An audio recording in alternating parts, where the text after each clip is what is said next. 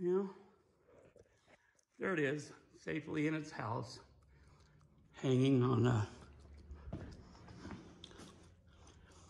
hanging off the roof. Kind of put the hurts to it, but not too bad.